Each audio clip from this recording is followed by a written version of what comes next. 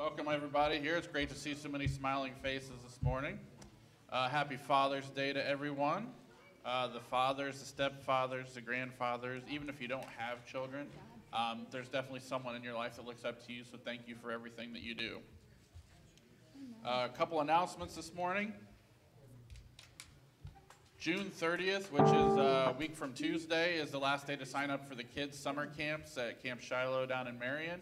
So if you have kids that are interested in going, uh, make sure that you pick up a registration form and a health form out there on the coffee bar. Uh, and those forms need to be returned along with the payments by June 30th. Uh, we are still collecting stuffed animals. Uh, up until July 1st, so far they've collected 410 stuffed animals. So if you still have some uh, new or gently used stuffed animals that you'd like to uh, re-gift to someone else, uh, bring those in. Uh, they've currently collected 410, and so we'd love to see that number get up to like five or 600. Uh, starting in July, the mission service will be moving to the second Sunday, um, and the first one, which would be uh, July 12th, will be a bonfire out at Paul and Brittany's house. Uh, it's going to start at 6 o'clock, but you can show up earlier if you want to. Uh, and talk to Brittany if you want to help bring anything, whether it's hot dogs, buns, uh, or s'mores, uh, they're, as they're going to have a campfire out there uh, for the mission service that night. And then the game night will be resuming the third Sunday in July as well. So I guess that means I finally have to relinquish the first place Euchre trophy. Well, maybe, we'll see. Um, but come out and join us again for uh, game night the third Sunday in July, starting at 6 o'clock. Good morning. It's good to see these pews get fuller and fuller every Sunday. It's such a blessing. So let's give our praise to the Lord. You want to start us off, Terry?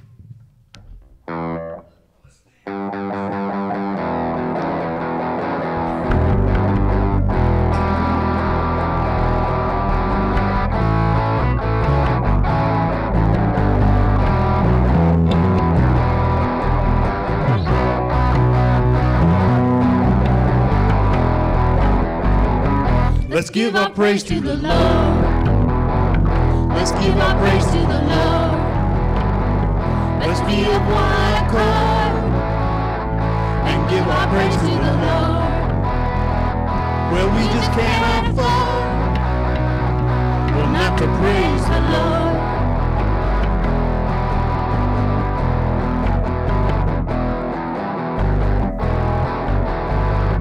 Come on and worship the King. Come on and worship the King. Let all the bells ring. Come on and worship the King. Well, everybody let's sing. Come on and worship the King. Worthy, worthy, worthy is the Lamb,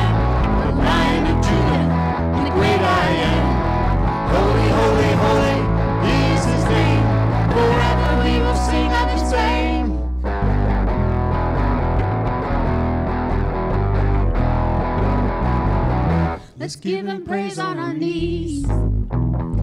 Let's give Him praise on our knees. To Him we wanna please. Let's give Him praise on our knees. Come down on our knees or to the tops of the trees. Worthy, worthy, worthy is the Lamb, the Lion of Judah, the great I am.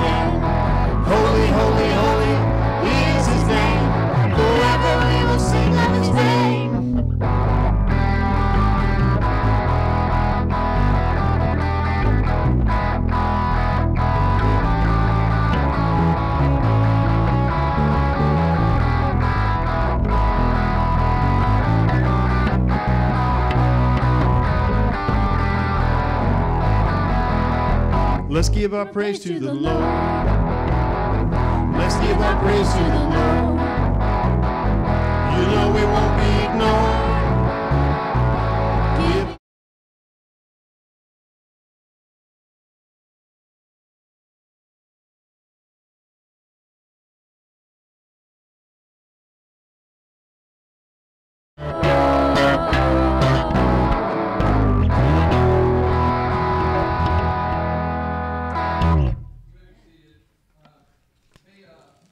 Remember how I'm always saying that we're a church that believes in the power of prayer?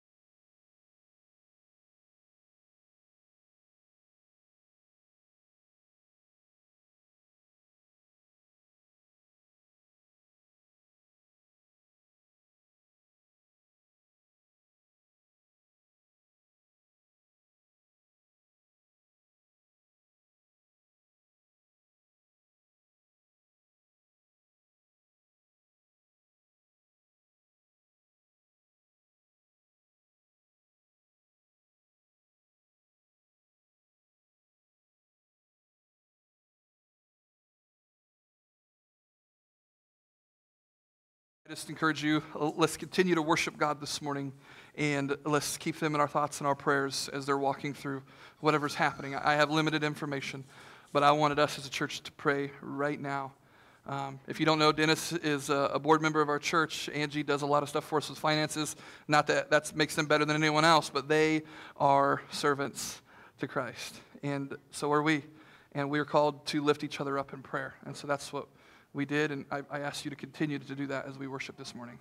Okay? Um, I probably wouldn't rush them. Just a little advice I probably wouldn't rush them with a bunch of text messages after service. Uh, just pray, okay? Just pray. Give them some space and some time right now. Uh, reach out whenever the Lord tells you. But yeah, okay? Let's, let's stand again. Let's worship. Let's continue to worship.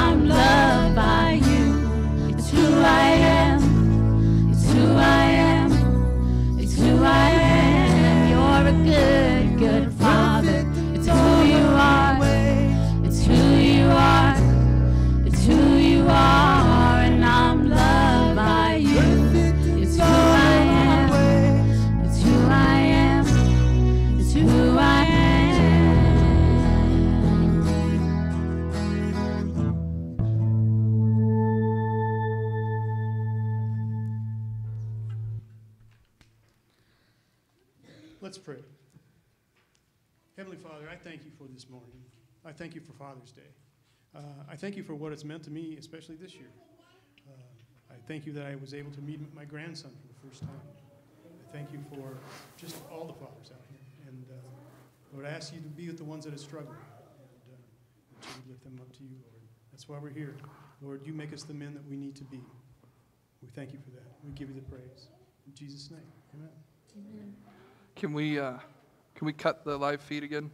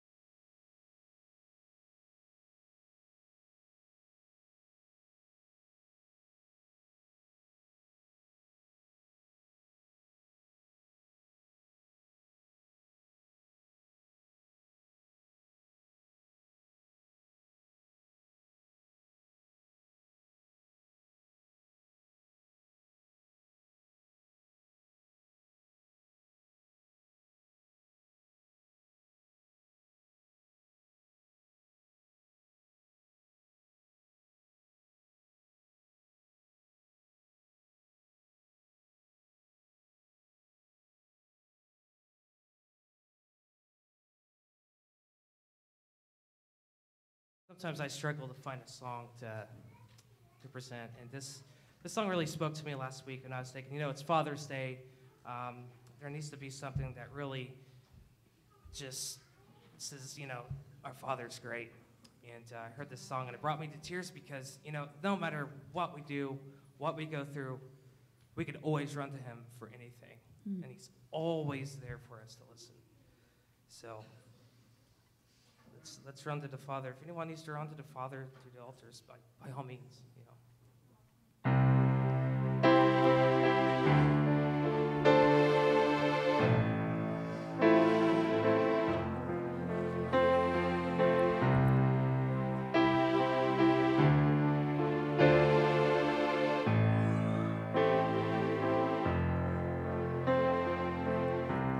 I've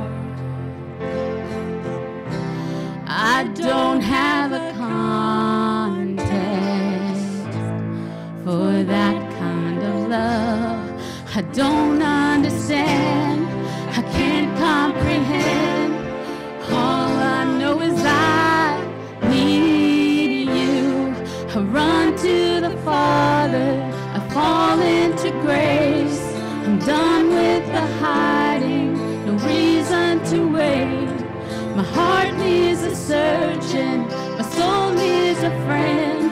So I'll run to the Father again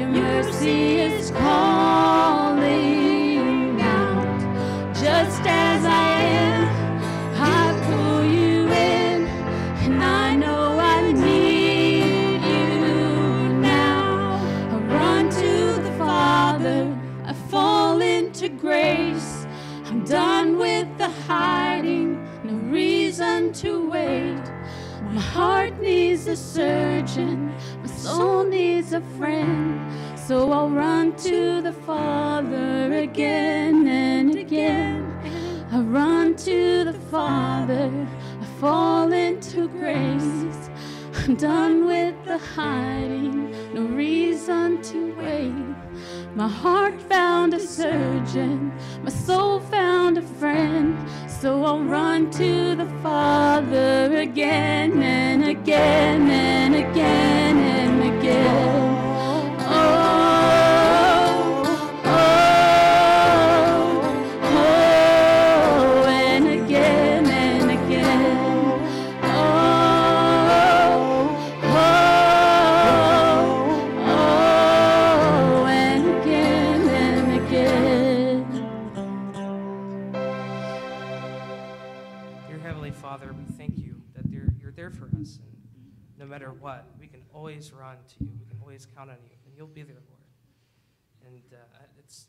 bitter news this morning, Lord, but it's, it's a blessing to hear that you know, the kingdom gained another child, Lord. And uh, the church has accepted another family. There's many blessings. We love you, Lord. Be with Travis as he presents the message, and we give you the glory. In Jesus' name,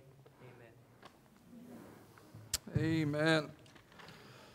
What a roller coaster of emotions this morning. Um, but you know, that's what I love about church. You know, that's what I love about, I mean, we're the church. That's what I love about worshiping God. It's what I love about living in the Spirit. It's what I love about being in the center of God's will. Like, we can lay out broken before Him. We could stay at the altar as long as we want. We could stay in, the, in a spirit of prayer for, for the entire time because He loves us. Amen? You know, church doesn't have to look the same every Sunday. And, and that's what I love about us. We're willing to walk and step with, uh, with whatever the Spirit has for us. Because that's when the Spirit speaks. And that's when the Spirit moves. And so we've hit almost every emotion this morning, so maybe I can help you giggle a little bit this morning with what I'm about to do. Not to change the mood, but it's, it's kind of some of the stuff I had today. But um, uh, how many of you kids in here uh, can say exactly what is in your father's toolbox? Can you, can you tell me what are some of the things that are in your dad's toolbox? How, okay, how about this? How many of your dads have nice, neat, orderly toolboxes?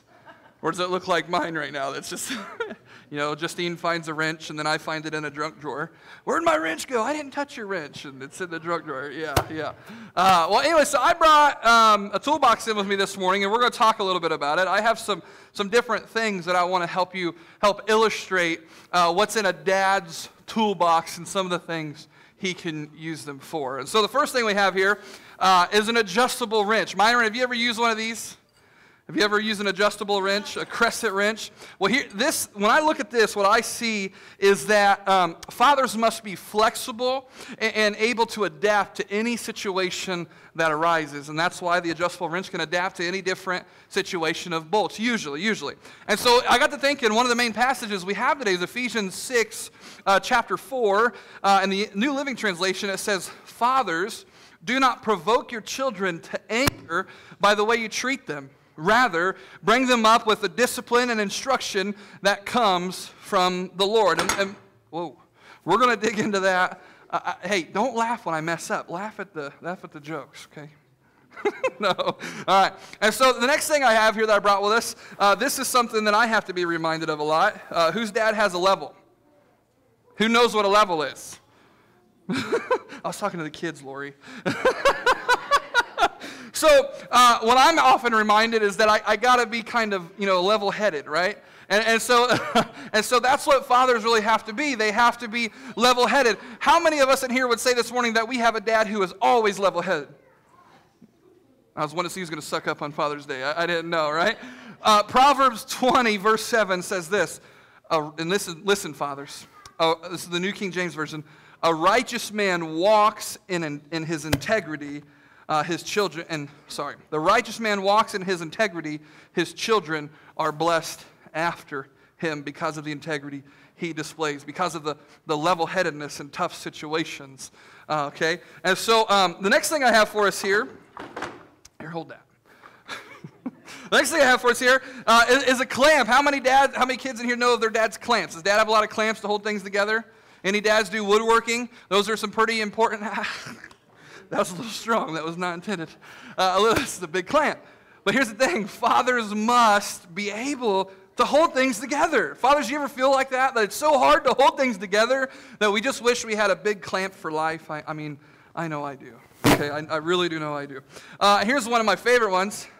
Thank you. Here's one of my favorite ones. Uh, how many of us have shop rags in our in our garage? Right? These are a must-have. Any dads not have shop rags? Any dad here not have shop rags in their garage? Ryan, you don't have a shop rag? There you go. well, the reason why uh, we need shop rags is because dads are not perfect, right? That's why I gave it to Ryan. And so uh, we must be ready to clean up the messes that we sometimes make, right, Ryan? Just sometimes. Not all, just sometimes, okay? Uh, here's another really good one. Uh, you might not get this one, I, I don't know. But um, I was thinking I had an extension cord. That's usually not in my toolbox, but it is today. And so the reason why I use the extension cord is because fathers must be able to stretch. I didn't have a bungee cord. That's what I was going to use. They must be able to stretch, though, stretch across the distance. They need to be able to stretch and do a lot of different things. That's what dads need to be able to do. Oh, here's a real good one. Wait a second. How did, how did this get in here? Oh, I know how that got in there because uh, fathers must put mothers first, right? you know, it's gotta, we want to smell good for you, right? But listen to this. There's some seriousness to it. Oh, this one, I brought the one I used too. Uh, so you know, everyone knows your pastor sweats, so we need to keep that up here. No. Uh, Ephesians 5.25 says this. Uh, Husbands, love your wives, just as Christ also loved the church and gave himself up for her Listen, one of the best things a dad can give his children is knowledge that he loves their mother. Okay? That's one of the best gifts a dad can give. Here, we got to move along here. The next thing we have is, is some pliers because a father must be able to get a grip and he must be able to hold on when everyone else is losing theirs. we got to be able to hold on to our grip when everyone else in the family is losing theirs. And here's what I mean Proverbs 3 5 and 6.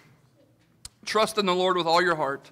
Lean not on your own understanding, and in all your ways acknowledge him, and he will direct your paths. Two more, two more. Man, this mic.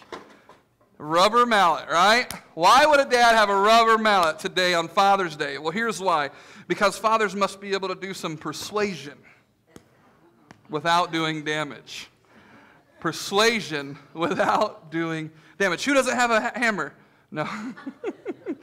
Titus chapter 3, verse 1 and 2 says, Remind them to be subject to rulers and authorities, to obey, to be ready for every good work, to speak evil of no one, to be peaceable, gentle, showing humility to all men. And here's the last thing that should be in every toolbox, or at least with every dad a Bible. You know why? It's life's blueprint. This is life's blueprint. It shows us how to be a good dad. And we're going to talk about that today. Proverbs 4:1 says this, "My children, listen when your father corrects you and pay attention and learn good judgment." That's why this is life's blueprint. Okay. Let's get on to the message today. So this morning I want to talk to you about how to be a real good dad. Okay? See what I did there? And, so, uh, you know, confession. Uh, this don't really have a lot to do with fishing today. I just thought that was really cool. And my title was already How to Be a Great Dad. So, yeah, so I'm a fisherman, so I threw that in there. Terry loves it. He's a huge fisherman. We talked about it this morning. He, I'm just kidding. hey, turn with me in your Bibles. Uh, the main passage today is going to be Psalms 103 13. And we'll, we'll be there in a little bit. But um, I want to talk about the importance of being a real great dad. Check this out. There was once a young mother, oh man, there was once a young mother who went down to the nursery at the hospital and she found her husband looking down at the newborn baby. Scott, did this happen with you? Did you, did you break away and go down and look at baby Colt when no one else was around? Did you do that? Or is that still a thing? It was when we had our last one with Lily. Okay, so he'll get, you'll get this, Scott. Okay, listen to me, right? So imagine Scott, right? All right, he's down there. He's staring into this, this, this window, this nursery. He's, he's seeing his, his son, man, his first son, just, just so beautifully and peacefully, just sleeping. And, and then imagine Emily coming up behind him, you know, and just kind of like noticing him off at a distance, you know. And she's just like so mesmerized that she has such an awesome husband and a dad that he is just so just peering into the life of their son and just, just contemplating everything he's going to be when he grows up, right? That's what you're doing, right? So deep, you know, philosopher, so deep, right? And, and then she, she walks up behind Scott and she puts her, her arms in his and she's just, I mean, she's just full of love. So it's just oozing out of her right now. And she goes, honey, what are you thinking about? And Scott, such a deep thinker, he just goes, you know, I just don't understand how they made that crib for $89.95.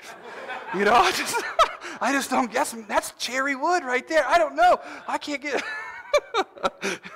Fathers uh, are interesting, interesting creatures, aren't they? Okay. Uh, so here's some humorous words uh, that was titled. Someone else wrote. These aren't my words, but it's called "The World According to Dad." I shared some of this stuff about mothers on Mother's Day, but here's some things that that all dads, I think, at some point have said. So here's what I want to do: have a little bit of fun. We're going to exercise. All right? Not really. If your dad has said one of these things, just raise your hand, and put it back down. Okay? Can we do that? There's only like 99 things. We'll be here to lunch. And so, I'm just kidding. All right, here's the first thing. This is going to hurt you a lot more than it's going to hurt me. All right, dads say that, okay? Um, how about this one? Quiet, I'm watching the ball game. Yeah, I've said that too, yeah. Um, or uh, don't forget to check the oil, right? Or, or bring back all the change. Caps, all caps, all, all in all caps. How should I know? Ask your mother. No, I've never said that. I mean, I know it all, right?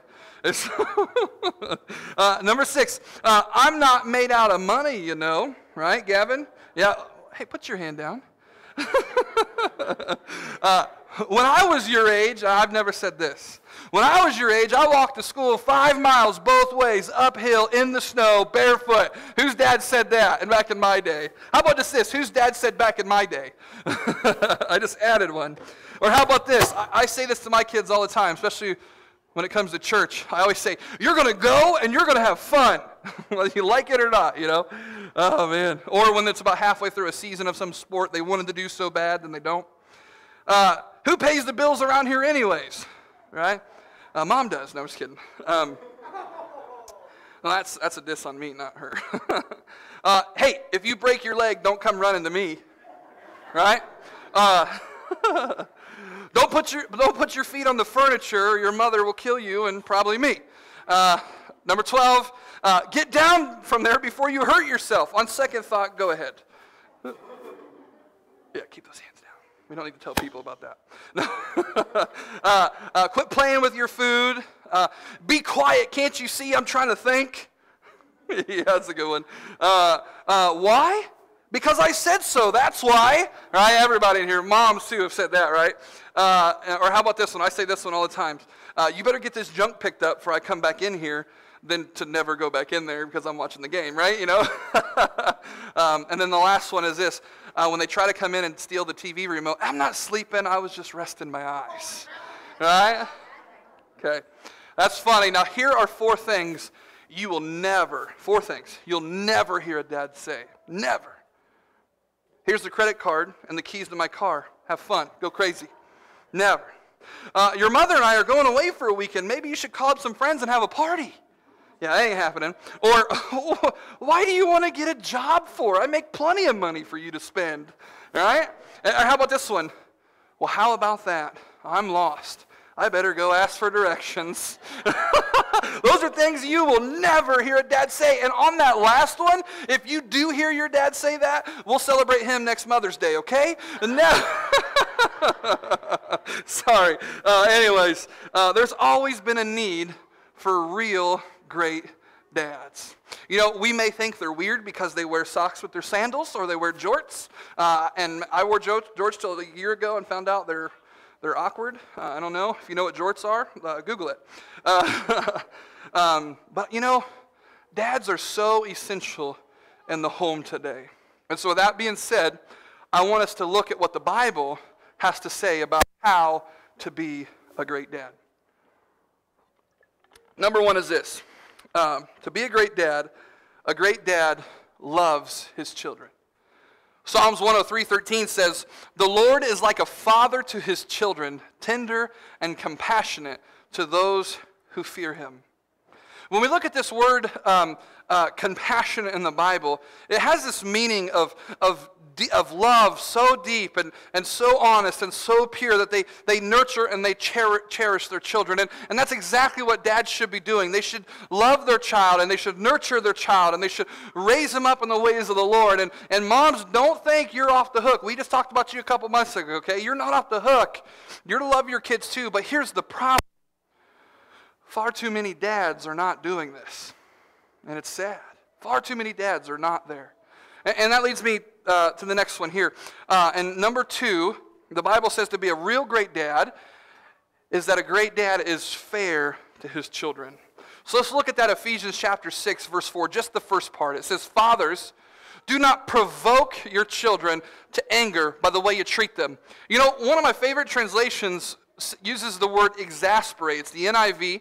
It uses the word exasperate for provoke. And, and, it's the only translation that I can really find in the midst, maybe out of 10 that I look at, that, that uses that word. And it has this, this meaning to, to not wear them out, right? To not constantly nag them, to not constantly be breathing down their neck, to not constantly be, be on them all the time, to not make them hostile, to treat them fairly. It kind of takes away the whole, that's what I said, that's why, or why, you know. We need to treat them fairly. But here's the thing young ones, I want you to listen because I'm going to talk, I'm going to address you in a second. It doesn't mean we don't discipline our kids. It doesn't mean that at all. We just don't unfairly discipline them, or we just don't, out of haste and anger and wrath, punish them. Maybe we need to take about 60 seconds to walk away before we pull the belt through the loops. You know what I mean? Uh, and I'm guilty of that too, but we got to stop and we got to think and, and we got to not provoke our children to anger by the way we treat them. And for my young ones that are in here, looks like a lot of my, oh, I have a teen back there. All right, yeah, we got some young ones all the way in the back, and Gavin and Jensen here, and oh, there's a lot more in here. You guys are just like blending in. You guys look like such adults. Ethan, all you guys, yeah. Uh, Terry, one of my teens, you know. So I don't know. I'm picking on you today, and I don't know why. I love you, man. Uh, I know why. It's easy. But anyways, listen. If you do something that you know you're not supposed to do, and it deserves discipline, you, you need to suck it up and just take your medicine right? And I mean discipline. And, and here's the thing you, you, may not like it, but you, you need to take it, right? We need to own up to the things that we do. But on, on the reverse side, if we have a father, a parent, a mother, that's handling it in a proper way and not provoking us to anger, not mistreating us, not doing all those things, it, it makes that easy. It's give and take. We need to obey.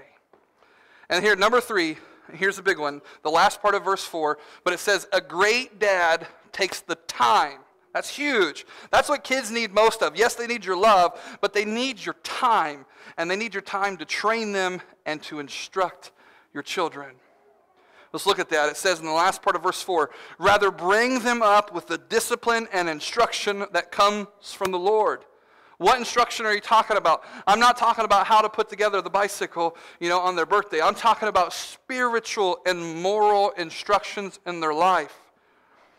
Here's a better way to put it you need to teach your children absolute truth. Jesus Christ and the Word of God, the living and the written Word of God, is absolute truth. And I've said some harsh statements before about it. Like, if, if you come across something in the Bible that you don't like, change your opinion, right? You know, I mean, because God's Word is absolute truth. We need to teach our children the difference between right and wrong, between good and evil, between heaven and there's another counterpart called hell that doesn't get talked about much. We need to teach our children about that.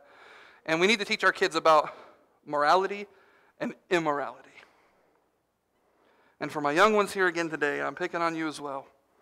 As long as you live in your parents' home, your only response should be, I'm going to obey you. I may not always like it. I may not always agree with it. I may not like what pastor's preaching this morning, but I understand I'm the child and you're the parents. And here's the thing. Guys, listen. Lily, you listening on my young, young teenagers in here and younger ones? Ethan, I know you're listening. That's why you're smiling. If you want to please and obey God, you can start by obeying your parents. Honor your mother and your father. Honor them. And so, as we look at those three, just three of many great responsibilities of great dads, church, can you see why it's so important that dads be the dads they were created to be? That dads be the dads that they were meant to be? That dads can maybe take today and say, Today is going to be day one. I'm going to make some changes if needed. Guys, listen, here's why I write this because we have a generation of young people who don't know right from left right? They don't know right from wrong. They don't, they, they don't know anything. And, and a lot of times, not always, but a lot of times it's because they don't or didn't have father, a fatherly influence in their life. That's, sometimes that's a lot of it. And I want you to know dads can be absent while they're present. Okay? It's very real. They don't have fathers who love them. You know, they don't have fathers who treated them fairly and didn't abuse them physically, mentally, emotionally, who taught them right from wrong. We have too many young people today who have a distorted view of their godly father because their relationship with their earthly father is a wreck. It's a mess. And, and, and they, they just don't, they don't understand. When they think father, it becomes a negative thing to think of God as a father. And you know, one of the greatest things about all this is, is that it's so hard.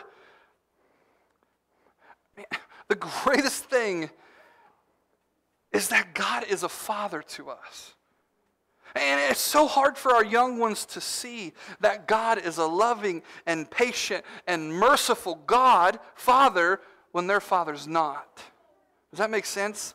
It's like, hey, like I may be 10 or 13 or whatever age it is, but this isn't adding up. Something's not right here. This is how my dad treats me, or my dad's never here, or whatever it is. I don't want. No, I don't need another dad. You know. And then they, they never learn to cry out, Abba, Daddy, Abba, Father. And so, one of the greatest characteristics to me, the thing that I love most about God, is that He's a father to me. I have two fathers. You have two fathers an earthly father and a heavenly father. And here are some truths about our heavenly Father, our God. Number one, or A, number A. I know, I was just kidding. Um, usually I use numbers, I don't know why I use letters today. Um, this is amazing. God is always going to be around. We ha- I just talked about dads who aren't around, but God is always going to be around. Uh, Joshua uh, 1 9 says, This is my command. Be strong and courageous. Do not be afraid or discouraged, for the Lord your God is with you wherever you go. And, and, and, that's just one passage that, that talks about how God will never leave us nor forsake us. He's, he's always going to be there, even when you mess up, even when you think your mess up is so bad that He can't possibly bring you back. He's like, Nope, I sent my son to die for that. Past, present, future. It's covered under the blood. Amen to that. That's an extra credit. Uh, the Holy Spirit gave me that this morning. It's truth. God's not going anywhere, church. He's not. Our Heavenly Father will always be there. He'll always be around. And here, here's some hard truths for you guys think I'm talking to young ones this morning, but listen to what I'm about to say. He'll never walk out on us, and He'll never die. Some of us in here have lost our fathers at a young age. Maybe. I don't know. I don't know everyone's story. Maybe at an older age, it doesn't matter, but God is always going to be there. He is our constant hope. And here's a truth when you feel or are alone, you have a hope that you can lean into and trust in all times and all situations, and that's God the Father. Number B, He is a father to the fatherless, a defender of widows. Psalm 65 8 says, Father to the fatherless, defender of widows. I just said that, right? But then it says, This is God whose dwelling is holy. Hang out with God. Hang out with God when we feel alone, when we feel separated, when we feel anxious. You know, the words fatherless or orphan, when I did a search, are only found in the Bible about 10 times. Isn't that crazy? And widow is only, excuse me, widow is only mentioned about 11 times in the Bible. And here's what's really cool about it, church. Listen, every time these words are being used in Scripture, it's in the context of God either looking out for them or warning people not to mess with them. Isn't that amazing? God has a special place in his heart for children that live in a fatherless home. He really does. You know, and, and there are single moms who may not be a widow, but the father may not be around. And these moms need to understand that they have a great heavenly father in their corner. And you know, as a church, as a body of believers, we need to remember this. You know why? Because in my experience growing up, it's very unfortunate that a lot of single moms and fatherless homes are looked down upon. And as a church, we need to embrace God's love and concern in this area. Letter C. This is another great thing about God. This is what I love. He loves us just as much as he loves his only begotten Son, Jesus Christ. You know, you know, we hear that in the scripture a lot. We know that when we, when we get saved, when we accept the free gift of salvation, when we accept Jesus Christ into our lives as Savior, uh, that, that God loves us and we're adopted into sonship, right? But God, He loves us just as he, much as He loved Jesus. Listen to what Jesus said in John 17 23. He says, I have given them the glory you gave me. Jesus did not hoard His daddy. He gave it to us. He could have said, uh uh-uh, uh Dad. And they're sinners, they're, they're murderers, they're, they're, they're rapers, they're, there's, there's thieves, there's all this stuff. I'm not dying for them. But no, he said, Ah, oh, God, he says, Daddy, he says, I have given them the glory you gave me, so they may be one as we are one. I am in them and you are in me. And then he, he, he, he prays. He says, May they experience such perfect unity that the world will know that you sent me and that you love them as much as you love me. And, and, I don't have it up here, but if you have your Bibles open, in verse 24, the very first word he uses in almost every translation is Father. Uh, uh Jesus uses the word Father six times just in that chapter to really illustrate that we have a loving Heavenly Father. Here's the thing even when He disciplines us. Some people say, God doesn't discipline us. Well, let's see what Scripture has to say about it. This is just one passage Proverbs 3 11 and 12. I don't have it up there for you, but just listen. It says, My child, don't reject the Lord's discipline and don't be upset when He corrects you. For the Lord corrects those He loves, just as a father corrects a child in whom He delights. Here's a promise a father who disciplines you is a lot better than a father who is absent or a father who doesn't. And, and I know you're thinking, Pastor, did you just tell me to thank God that my dad grounded me this week?